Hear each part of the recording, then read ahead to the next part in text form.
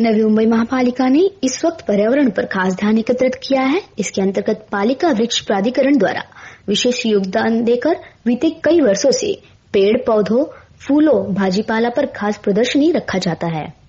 इस बार भी Nehru wonder park में इस प्रदर्शनी का भव्य आयोजन किया गया। इस प्रदर्शन को 11 वर्ष पूरे होने के साथ ये तीन दिवसीय प्रदर्शनी नागरिकों के लिए खुला रहेगा। शुक्रवार को महापौर सुधाकर सोनावने विधायक मंदा मात्रे की मुख्य मौजूदगी में इस आयोजन का उद्घाटन संपन्न हुआ। इस वक्त अतिरिक्त आयुक्त अंकुश चौहान, सभागृह नेता जेडी सुतार के संग पालिका अधिकारी व लोक प्रतिनिधि उपस्थित थे। इस समय इस प्रदर्शन में नैसर्गिक सौंदर्य बाग बगीचा उद्यान की निर्मित पर पर्यावरण विशेषज्ञों का मार्गदर्शन लोगों में देखने लायक होगा। खासकर स्कूली विद्यार्थियों में पेड़ पौधे फल फूल पत्ती की संपूर्ण जानकारी प्राप्त करने के लिए ये प्रदर्शन उपयुक्त होगा। इस समय ऐसा विश्वास उपस्थित मान्यवरों ने व्यक्त किया। कौतुक म्हणजे मी स्वतः निसर्गप्रेमी आहे. त्यामुळे अशा प्रकारच्या गोष्टींना वाव देणं किंवा वाव देण्यासाठी एक पाऊल पुढे टाकणं हे खरोखर नवी मुंबई महानगरपालिकेसाठी एक अ, भूषणावं आहे. ह्या शहराला सिमेंट काँक्रीटचं जंगल असं काही लोक संबोधण्याचा प्रयत्न करत आहेत परंतु गेल्या दशकामध्ये नवी मुंबई महानगरपालिकेने जेवढ्या मोठ्या प्रमाणामध्ये वृक्ष लागवड केलेली आहे किंवा टेरेसवर असेल किंवा आपल्या बाल्कनीमध्ये असेल अशा प्रकारच्या ज्या बागा फुलवलेल्या आहेत त्यामुळे निश्चितपणे मी तर असं म्हणेल की बेलापूर विधानसभा मतदारसंघ आहे.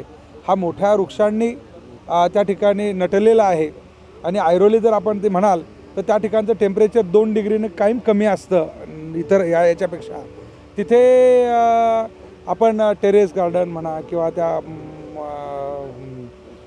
गॅलरीमध्ये म्हणा या ठिकाणी अ, बाल्कन्यामध्ये त्या ठिकाणी केलेलं दिसतंय.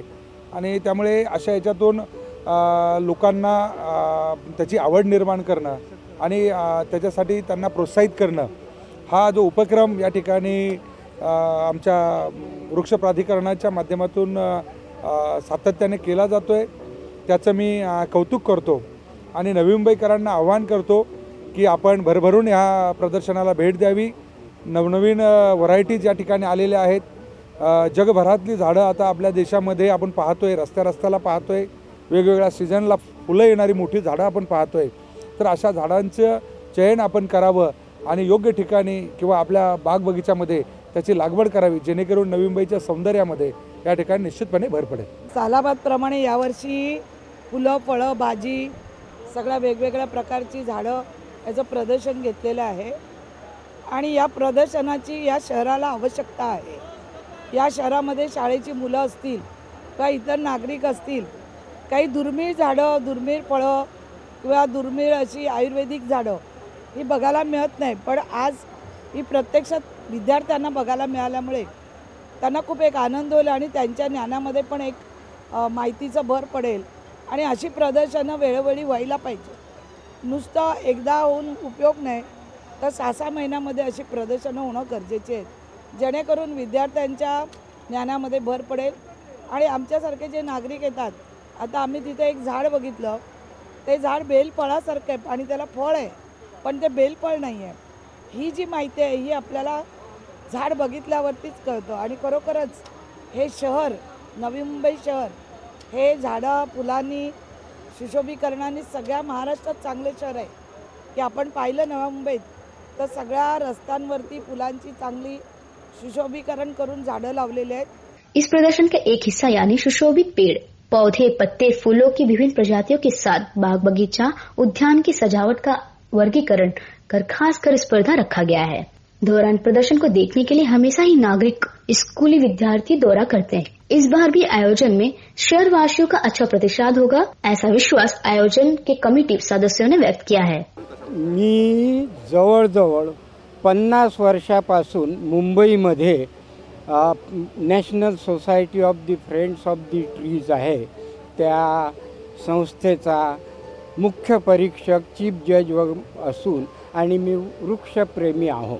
हे प्रदर्शन भरण्यात भरवण्याचं मुख्य कारण म्हणजे नागरिकांना विद्यार्थ्यांना सगळ्यांना एका छत्रीखाली सगळं पाहायला मिळावं. फळं फुलं भाजीपाला बोनझाय क- कॅक्टस आणि वेगवेगळे आता हँगिंग बास्केट म्हटल्यानंतर किती तऱ्हेचे आपण करू शकतो. आयुर्वेदिक प्लॅन्ट्स लोकांना माहीत असतं की जडीबुटी पण ते कोणते आहेत ते इथे सगळ्यांना पाहायला मिळावं. त्यांनी याचा आनंद घा घ्यावा हा आमचा उद्देश आहे. आणि आम्हा मला नक्की माहिती आहे आम्ही जे एवढी मेहनत करतो कष्ट करतो त्याचं फळ एक ना एक दिन मिळणारच आणि त्याचं त्याचा उपभोग सगळ्या नागरिकांनी त्यांच्या मुलाबाळांनी घ्यावी. व्हिडिओ जर्नलिस्ट दिनेश राठोड के साथ योगेश पाटील की रिपोर्ट